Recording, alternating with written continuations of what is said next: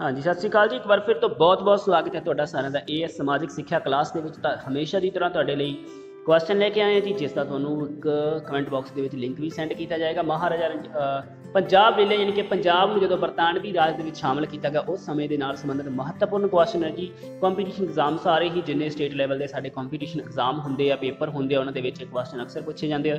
ਤਾਂ ਅੱਜ ਕੱਲ ਕਾਫੀ ਜ਼ਿਆਦਾ ਤਿਆਰੀ ਚੱਲ ਰਹੀ ਹੈ। ਪਟਵਾਰੀ ਭਰਤੀ ਦੀ ਤੇ ਪੰਜਾਬ ਨਾਲ ਸੰਬੰਧਿਤ ਜੀਕੇ ਜਿਹੜੀ ਕੁਐਸਚਨ ਆ, ਹਮੇਸ਼ਾ ਲ- ਨੇ ਜੋ ਉਹਨਾਂ ਦੀ ਕੋਸ਼ਿਸ਼ ਹੈ ਕਿ ਹਮੇਰੇ ਜੋ ਵੀਡੀਓ ਤੁਹਾਡੇ ਤੱਕ ਪਹੁੰਚਦੀਆਂ ਨੇ ਉਹਦੇ ਵਿੱਚ, ਦੇ ਵਿੱਚੋਂ ਜੋ ਕੁਐਸਚਨ ਆਣੇ ਨੇ, ਤਾਂ ਅੱਜ ਦਾ ਜਿਹੜਾ ਸਾਡਾ ਵਿਸ਼ਾ ਹੈ ਪੰਜਾਬ ਵੇਲਿਆ ਯਾਨੀ ਕਿ ਪੰਜਾਬ ਨੂੰ ਜਦੋਂ ਬਰਤਾਨਵੀ ਰਾਜ ਦੇ ਵਿੱਚ ਸ਼ਾਮਲ ਕੀਤਾ ਗਿਆ, ਉਸ ਨਾਲ ਸੰਬੰਧਿਤ ਜੋ ਕੁਐਸਚਨ ਬਣਦੇ ਉਹ ਤੁਹਾਡੇ ਤੱਕ ਲੈ ਕੇ ਆਇਆ ਜੀ।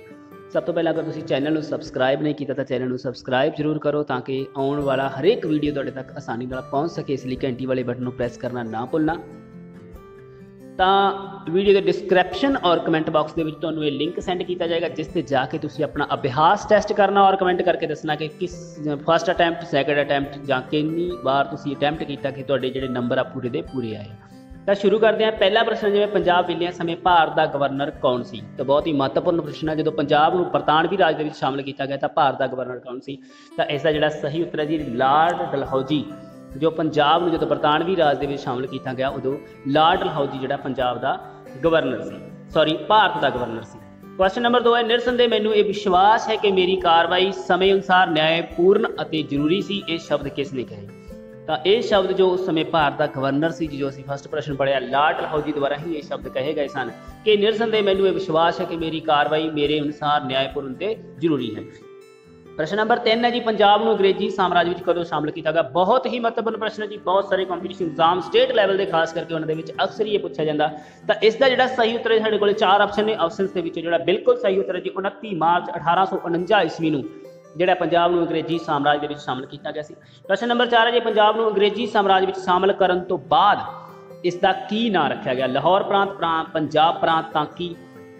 ਪੂਰਬੀ ਪੰਜਾਬ ਤਾਂ ਇਸ ਦਾ ਸਹੀ ਉੱਤਰ ਹੈ ਜੀ ਪਰਾਂ- ਪੰਜਾਬ ਪ੍ਰਾਂਤ ਆ ਜਿਹੜਾ, ਇਸ ਦਾ ਨਾਮ ਰੱਖਿਆ ਗਿਆ ਸੀ। ਅੰਗਰੇਜ਼ੀ ਸਾਮਰਾਜ ਦੇ ਵਿੱਚ ਜਦੋਂ ਇਸ ਸ਼ਾਮਲ ਕੀਤਾ ਗਿਆ, ਪ੍ਰਸ਼ਨ ਨੰਬਰ 5 ਹੈ ਜੀ, ਮਾਲਵਾ ਪ੍ਰਦੇਸ਼ ਨੂੰ ਬ੍ਰਿਟਿਸ਼ ਰਾਜ ਵਿੱਚ ਕਿਸ ਨਾਂ ਨਾਲ ਜਾਣਿਆ ਜਾਂਦਾ ਸੀ? ਹੁਣ ਮਾਲਵਾ ਪ੍ਰਦੇਸ਼ ਨੂੰ ਬ੍ਰਿਟਿਸ਼ ਰਾਜ ਯਾਨੀ ਕਿ ਬਰਤਾਨਵੀ ਰਾਜ ਦੇ ਸਮੇਂ ਕਿਸ ਨਾਮ ਨਾਲ ਜਾਣਿਆ ਜਾਂਦਾ ਸੀ ਤੇ ਇਹਨਾਂ ਦੇ ਵਿੱਚੋਂ ਜਿਹੜਾ ਬਿਲਕੁਲ ਸਹੀ ਆਪਸ਼ਨ ਹੈ ਜੀ, ਸਤਲੁਜ ਦੇ ਇਸ ਪਾਰ ਦਾ ਇਲਾਕਾ। ਇਸ ਨੂੰ ਕਿਹਾ ਜਾਂਦਾ ਸੀ ਸਤਲੁਜ ਦੇ ਇਸ ਪਾਰ ਦਾ ਇਲਾਕਾ। ਅਗਲਾ ਕੁਐਸਚਨ ਹੈ ਜੀ, ਪੰਜਾਬ ਵਿਲਿਆ ਸਮੇਂ, ਯਾਨੀ ਕਿ ਪੰਜਾਬ ਨੂੰ ਮਿਲਾਉਣ ਸਮੇਂ ਇੰਗਲੈਂਡ ਦੀ ਮਹਾਰਾਣੀ ਕੌਣ ਸੀ? ਇਹ ਵੀ ਬਹੁਤ ਹੀ ਮਹੱਤਵਪੂਰਨ ਪ੍ਰਸ਼ਨ ਹੈ ਜੀ, ਪੰਜਾਬ ਨੂੰ ਮਿਲਾਉਣ ਸਮੇਂ ਜਿਹੜੀ ਇੰਗਲੈਂਡ ਦੀ ਮਹਾਰਾਣੀ ਸੀਗੀ, ਮਹਾਰਾਣੀ ਵਿਕਟੋਰੀਆ। ਉਸ ਸਮੇਂ ਜੋ ਇੰਗਲੈਂਡ ਦੀ ਮਹਾਰਾਣੀ ਸੀ ਮਹਾਰਾਣੀ ਵਿਕਟੋਰੀਆ ਬਹੁਤ ਹੀ ਮਹੱਤਵਪੂਰਨ ਪ੍ਰਸ਼ਨ ਹੈ ਜੀ ਅਭਿਆਸ ਟੈਸਟ ਜ਼ਰੂਰ ਕਰਨਾ ਕਮੈਂਟ ਬਾਕਸ ਦਾ ਡਿਸਕ੍ਰਿਪਸ਼ਨ ਵਿੱਚ ਜਾ ਕੇ ਤੁਹਾਨੂੰ ਲਿੰਕ ਮਿਲ ਜਾਏਗਾ ਉੱਥੇ ਜਾ ਕੇ ਤੁਸੀਂ ਆਪਣਾ ਅਭਿਆਸ ਟੈਸਟ ਜ਼ਰੂਰ ਕਰਨਾ ਪੰਜਾਬ ਵੇਲੇ ਯਾਨੀ ਕਿ ਪੰਜਾਬ ਨੂੰ ਮਿਲਾਉਣ ਸਮੇਂ ਅੰਗਰੇਜ਼ ਅਧਿਕਾਰੀ ਨੇ ਲਾਰਡ ਡਲਹੌਜੀ ਦੀ ਆਲੋਚਨਾ ਇੱਕ ਅੰਗਰੇਜ਼ ਅਧਿਕਾਰੀ ਨੇ ਕਿਸ ਅੰਗਰੇਜ਼ ਅਧਿਕਾਰੀ ਨੇ ਲਾਰਡ ਡਲਹੌਜੀ ਦੇ ਇਸ ਨਿਰਣੇ ਦੀ ਆਲੋਚਨਾ ਕੀਤੀ ਜਿਸ ਦਾ ਇਸ ਦਾ ਸਹੀ ਉੱਤਰ ਹੈ ਜੀ ਹੈਨਰੀ ਲਾਰੈਂਸ ਹੈਨਰੀ ਲਾਰੈਂਸ ਦੁਆਰਾ ਪੰਜਾਬ ਵੇਲੇ ਦੀ ਜਿਹੜੀ ਆਲੋਚਨਾ ਕੀਤੀ ਗਈ ਸੀ ਜੋ ਲਾਰਡ ਡਲਹੌਜੀ ਨੇ ਕੀਤਾ ਸੀ ਪ੍ਰਸ਼ਨ ਨੰਬਰ 8 ਹੈ ਜੀ, ਲਾਰਡ ਡਲਹੌਜੀ ਨੇ ਪੰਜਾਬ ਵੇਲੇ ਸਮੇਂ ਅੰਗ- ਕਿਸ ਨੂੰ ਅੰਗਰੇਜ਼ੀ ਸਾਮਰਾਜ ਵਿੱਚ ਸ਼ਾਮਲ ਨਹੀਂ ਕੀਤਾ ਸੀ? ਪਟਿਆਲਾ, ਜੀਤ ਕਪੂਰਥਲਾ ਬਰੋਕਰ ਸਾਰੇ ਤਾਂ ਇਸ ਦਾ ਸਹੀ ਉੱਤਰ ਜੀ ਸਾਰੇ ਹੀ ਜਿਹੜੇ ਅੰਗਰੇਜ਼ੀ ਸਾਮਰਾਜ ਦੇ ਵਿੱਚ ਸ਼ਾਮਲ ਨਹੀਂ ਕੀਤੇ ਗਏ ਸਨ, ਇਹਨਾਂ ਨੂੰ ਲਾਰਡ ਡਲਹੌਜੀ ਨੇ ਪੰਜਾਬ ਨੂੰ ਜਦੋਂ ਅੰਗਰੇਜ਼ੀ ਸਾਮਰਾਜ ਦੇ ਵਿੱਚ ਸ਼ਾਮਲ ਕੀਤਾ ਤਾਂ ਪਟਿਆਲਾ ਜ਼ੀਰ ਕਪੂਰਥਲਾ ਵਰਗੀਆਂ ਜਿਹੜੀਆਂ ਰਿਆਸਤਾਂ ਸੀ, ਉਹਨਾਂ ਨੂੰ ਉਸ ਨੇ ਆਪਣੇ ਵਿੱਚ ਸ਼ਾਮਲ ਨਹੀਂ ਕੀਤਾ ਸੀ। ਪ੍ਰਸ਼ਨ ਨੰਬਰ 9 ਜੀ, ਪੰਜਾਬ ਰਾਜ ਦਾ ਸ਼ਾਸਨ ਚਲਾਉਣ ਲਈ ਪ੍ਰਸ਼ਾਸਨਿਕ ਬੋਰਡ ਦੀ ਸਥਾਪਨਾ ਕਦੋਂ ਕੀਤੀ ਗਈ? ਹੁਣ ਪੰਜਾਬ ਰਾਜ ਦਾ ਸ਼ਾਸਨ ਚਲਾਉਣ ਲਈ ਪ੍ਰਸ਼ਾਸਨਿਕ ਬੋਰਡ ਦੀ ਸਥਾਪਨਾ ਜਿਹੜੀ 1849 ਈਸਵੀ ਵਿੱਚ ਹੀ ਕੀਤੀ ਗਈ ਸੀ, ਕਿਉਂਕਿ 1849 ਈਸਵੀ ਵਿੱਚ ਹੀ ਪੰਜਾਬ ਨੂੰ ਅੰਗਰੇਜ਼ੀ ਸਾਮਰਾਜ ਦੇ ਵਿੱਚ ਸ਼ਾਮਲ ਕੀਤਾ ਗਿਆ ਸੀ।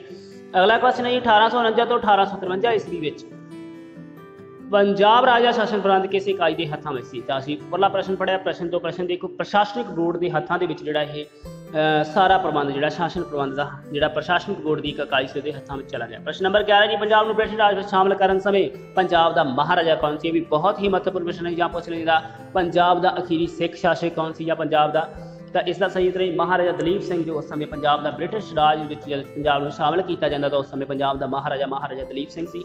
ਸਿੱਖ ਸ਼ਾਸਕ, ਅਸਲੀ ਅੰਤਿਮ ਸਿੱਖ ਸ਼ਾਸਕ ਵੀ ਕਹਿ ਦਿੰਦੇ ਬ੍ਰਿਟਿਸ਼ ਅਧੀਨ ਪੰਜਾਬ ਵਿੱਚ ਪਹਿਲੀ ਵਾਰ ਕਿਸ ਪਾਰਟੀ ਦੀ ਸਰਕਾਰ ਬਣੀ ਔਰ ਇਹ ਵੀ ਮੋਸਟ ਇੰਪੋਰਟੈਂਟ ਕੁਐਸਚਨਾਂ ਦੇ ਵਿੱਚ ਜੇ ਬ੍ਰਿਟਿਸ਼ ਅਧੀਨ ਯਾਨੀ ਕਿ ਜਦੋਂ ਬਰਤਾਨਵੀ ਰਾਜ ਦੇ ਅਧੀਨ ਪੰਜਾਬ ਸੀ ਤਾਂ ਉਸ ਸਮੇਂ ਪਹਿਲੀ ਵਾਰ ਕਿਸ ਦੀ ਸਰਕਾਰ ਬਣੀ ਤਾਂ ਯੂਨੀਅਨਿਸਟ ਯੂਨੀਅਨਿਸਟ ਪਾਰਟੀ ਹੈ ਜਿਹੜੀ ਇਸ ਦੀ ਸਰਕਾਰ ਬਣੀ ਸੀ। ਬਹੁਤ ਹੀ ਮਹੱਤਵਪੂਰਨ ਪ੍ਰਸ਼ਨ ਹੈ। ਡਿਸਕ੍ਰਿਪਸ਼ਨ ਦੇ ਵਿੱਚ ਜਾਣਾ, ਲਿੰਕ ਤੇ ਕਮੈਂਟ ਜ਼ਰੂਰ ਕਰਨਾ ਔਰ ਆਪਣੇ ਨੰਬਰ ਜ਼ਰੂਰ ਦੱਸਣਾ ਕਿ ਤੁਹਾਡੇ ਨੰਬਰ ਕਿੰਨੇ ਆਏ ਵੀਡੀਓ ਨੂੰ ਅੱਗੇ ਤੋਂ ਅੱਗੇ ਇਮਾਨਦਾਰ ਨਾਲ ਸ਼ੇਅਰ ਜ਼ਰੂਰ ਕਰਨਾ ਜੀ।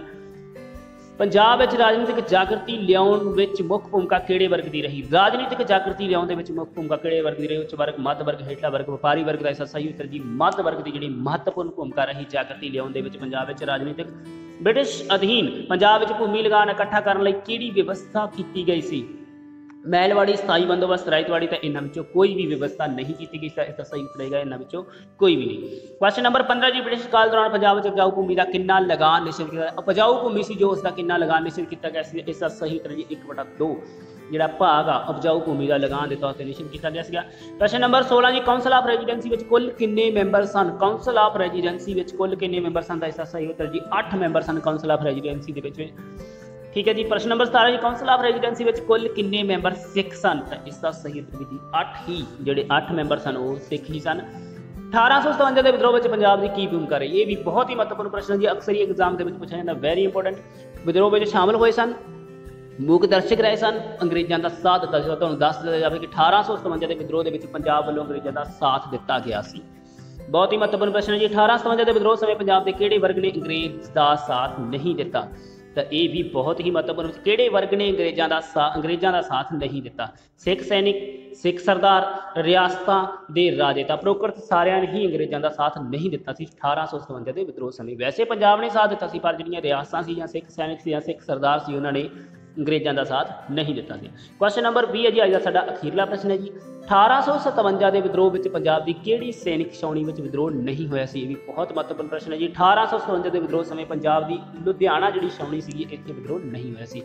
ਤਾਂ ਇਹ ਸਨ ਸਾਡੇ ਅੱਜ ਦੇ ਕੁਐਸਚਨ ਜਿਸ ਤਰ੍ਹਾਂ ਤੁਹਾਨੂੰ ਮੈਂ ਦੱਸਿਆ ਕਮੈਂਟ ਬਾਕਸ ਔਰ ਡਿਸਕ੍ਰਿਪਸ਼ਨ ਦੇ ਵਿੱਚ ਤੁਹਾਨੂੰ ਇਸ ਦਾ ਗੂਗਲ ਫਾਰਮ ਲਿੰਕ ਸੈਂਡ ਕੀਤਾ ਜਾਏਗਾ ਜਿਸ ਤੇ ਜਾ ਕੇ ਆਪਣਾ ਅਭਿਆਸ ਟੈਸਟ ਜ਼ਰੂਰ ਕਰਨਾ। ਨੰਬਰ ਤੁਹਾਨੂੰ ਨਾਲ ਦੀ ਨਾਲ ਮਿਲ ਜਾਣਗੇ ਜੀ।